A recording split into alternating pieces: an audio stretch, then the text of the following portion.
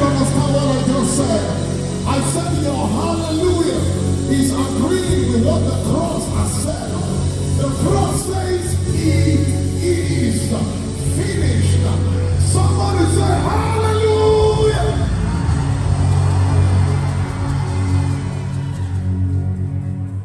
I believe the Lord has given me an assignment tonight to express one of his many sided dimensions of grace called restoration. It's not just an exercise.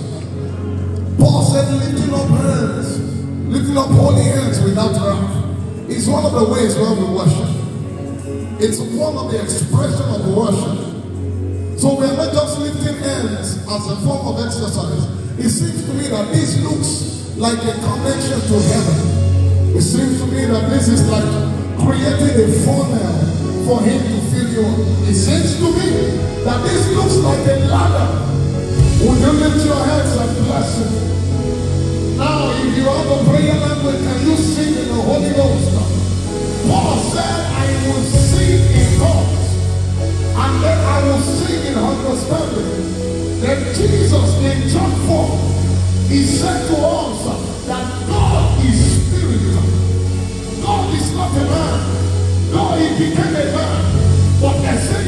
God is spirit. And those who must worship, those who must worship, must worship with this protocol of his presence.